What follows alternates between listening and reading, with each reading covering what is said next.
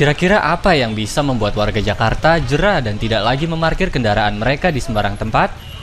Denda maksimal sebesar Rp500.000, kendaraan dicabut pentil, bahkan kendaraan diangkut paksa nampaknya tak juga menciptakan kesadaran warga untuk memarkirkan kendaraannya di tempat yang sudah ditentukan. Dalam razia yang digelar petugas gabungan suku Dinas Perhubungan Jakarta Pusat dan Satpol PP Selasa di kawasan Tanah Abang siang tadi, masih banyak ditemukan beberapa titik lahan parkir liar.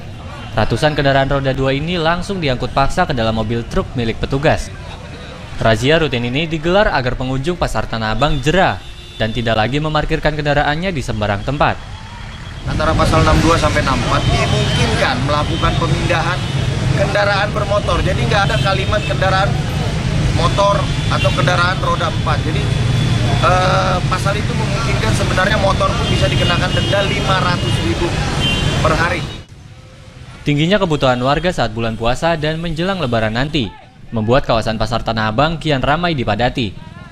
Peningkatan inilah yang memicu para pengunjung untuk memilih memarkirkan kendaraan di lahar parkir liar yang dianggap lebih dekat ketimbang harus parkir di lahan resmi yang telah disediakan. Sofian Firdaus, kontributor Jakarta.